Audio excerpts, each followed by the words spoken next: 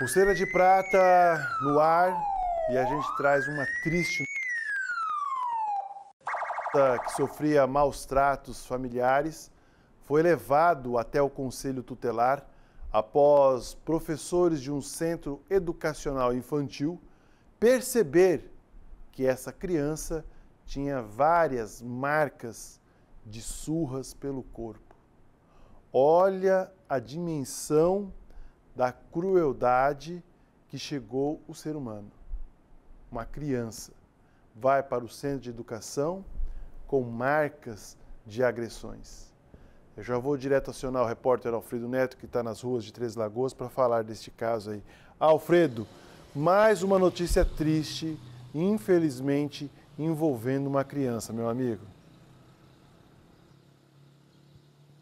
Isso mesmo, Israel. Infelizmente, uma criança que estava sendo cuidada ali no CI Euclides Lima acabou sendo acolhida pelos professores que perceberam que ela teria algumas marcas no corpo, como costas, pernas, de espancamento. Ao ser questionada o que teria acontecido com essa criança, os professores ouviram da criança, que é haitiana, e fala um pouco do português, que papai bateu. Achando o caso um pouco grave devido às lesões que essa criança tinha no corpo, o conselho tutelar foi chamado, a criança foi levada até o conselho tutelar, aonde a mãe da criança foi acionada e a polícia militar também.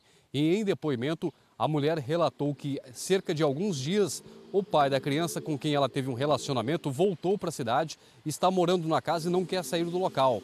E constantemente o homem agride a criança e sai contando para todo mundo que a criança não é dele, que a mulher teve um caso, engravidou de outro, colocou a criança no mundo e ele carrega esse fardo. Mas ele não sai da casa, fica lá perturbando a mulher e espancando a criança.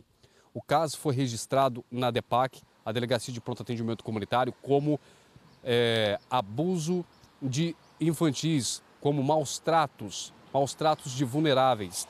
O caso vai ser investigado pela Delegacia especializada ADAM, Delegacia de Atendimento à Mulher, que também acompanha esses casos de maus tratos e, é claro, o homem aí suspeito de cometer esse crime vai ser chamado para prestar depoimento, já que a Polícia Militar teria até ido no local onde eles vivem, mas o homem não teria sido encontrado no imóvel.